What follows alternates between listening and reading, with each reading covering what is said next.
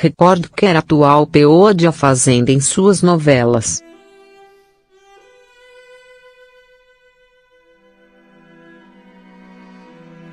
Libertadores é a principal competição de clubes em âmbito continental. Foto, divulgação. Com a chegada do Grupo Turner no Brasil, que investiu na compra do canal Esporte Interativo, a disputa por transmissões de competições esportivas ficou bem mais emocionante. Para se ter uma ideia, o grupo estrangeiro já assinou com alguns times do Brasileirão, mas quer mais, a Libertadores.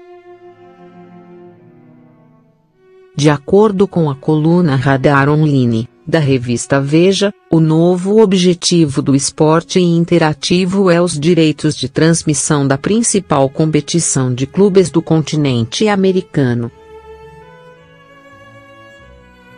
Para que isso venha a acontecer, o esporte interativo procura parcerias.